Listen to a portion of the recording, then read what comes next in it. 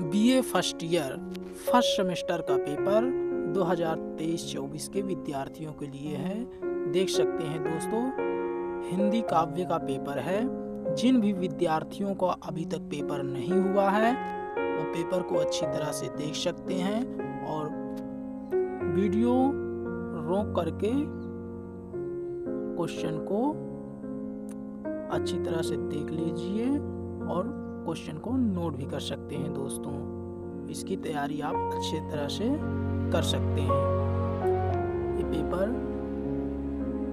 में पूछे गए क्वेश्चन, जिन भी विद्यार्थियों का अभी तक पेपर नहीं हुआ है, उनके लिए बहुत ही इंपॉर्टेंट होने वाला है। आप देख सकते हैं, बहुत ही अच्छा पेपर दिया गया है। इसमें तीन खंड निर्धारित है। खंड आ, बा और शा खंड आ आइए देखते हैं, जिसमें दस क्वेश्चन दिए गए हैं और दो अंक का प्रत्येक प्रश्न है। हिंदी साहित्य के आदिकाल के लिए प्रयुक्त विभिन्न अन्य नाम एवं नामकरण करने वाले विद्वानों के नाम लिखिए। क्वेश्चन पूछा गया है। देख लीजिए। शुभी कव्य कव्यधारा की मुख्य विशेषताएँ लिखिए द्विवेदी युग के किन्हीं छह साहित्यकारों के नाम लिखिए। बहुत ही मोस्ट इंपॉर्टेंट क्वेश्चन है दोस्तों। कवि विद्यापति को किन किन उपाधियों से विभूषित किया गया था? आप क्वेश्चन को नोट भी कर लीजिए दोस्तों। अगला क्वेश्चन है तुलसीदास की प्रमुख छह रचनाओं के नाम लिखिए। क्वेश्चन को अच्छी तरह से देख करके आप तैयारी कर लीजिए दोस्तों। अगला क्वेश्चन है, अपनी पाठ्य पुस्तक से कबीर दास का कोई एक दोहा लिखिए। घनानंद द्वारा प्रयुक्त किन्हीं पाँच छंदों के नाम उल्लेख कीजिए।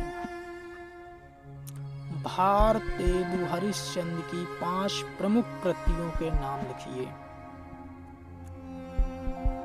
अगला क्वेश्चन है, धर्मवीर भारती के काव्य संग्रहों का नाम लिखिए। अगला क्वेश्चन है, दसवां साहित्य में शोध की प्रमुख प्रविधियों का नाम उल्लेख कीजिए। बहुत ही अच्छा क्वेश्चन आया है। आप नोट कर लेना दोस्तों, खंडबा देखते हैं। खंडबा में आठ प्रश्न दिए गए हैं, जिनमें से पाँच के उत्तर देना है, लगभग 200 शब्दों में दोस्तों, और प्रत्येक सात अंक का है। देख लीजिए इसमें। निम्नलिखित अवतरणों की संदर्भ सहित व्याख्या करना है दोस्तों। अथवा में भी दिया गया है, गोकुल सबय गोपाल उपासी। बहुत ही अच्छा काव्य है दोस्तों। आपको इसका संदर्भ सहित व्याख्या करना है। तीसरा प्रश्न देख लीजिए दोस्तों। आइए अगला प्रश्न देखते हैं अथवा करके। एक और दिया गया दोस्तों।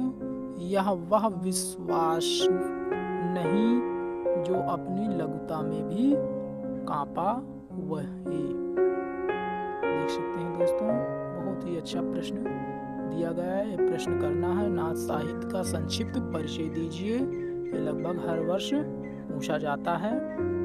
देख लीजिए, बहुत ही अच्छे क्वेश्चन दिया गया। अमीर खुसरो का साहित्यिक परिचय दीजिए।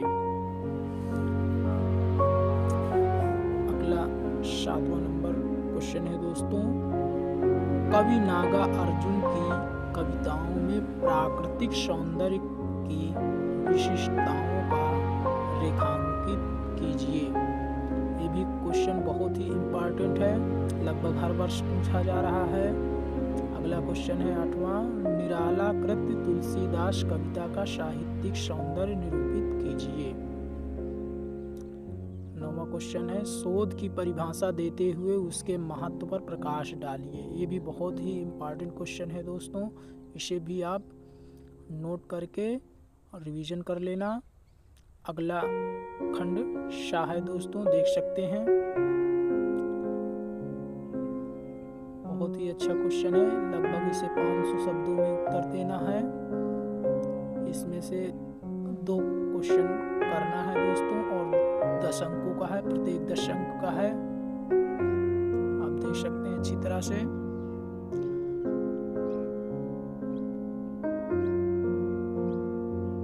बहुत ही अच्छा क्वेश्चन आया है, इनका रिवीजन कर लीजिए दोस्तों। इसके उत्तर देना है। देख सकते हैं भारतेंदु हरिश्चंद्र का जीवन परिचय देते हुए साहित्य जगत में उनके योगदान को निरूपित कीजिए।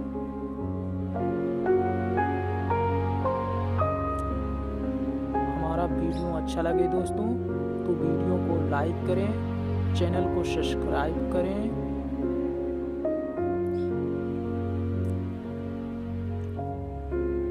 पेपर को आप वीडियो रोक करके